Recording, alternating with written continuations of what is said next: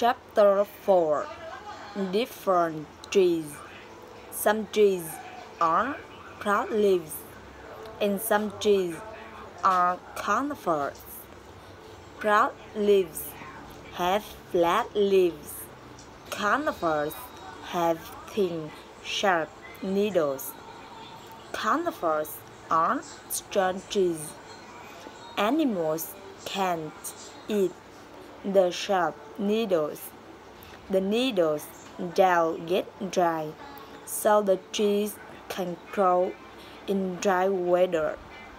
Conifers can grow in hot weather or cold weather. Many broad leaves can't grow in cold weather or dry weather. Then on the leaves fall off the tree. The leaves grow again in hot weather or rainy weather. This cover have a million leaves can fall off a very very big tree.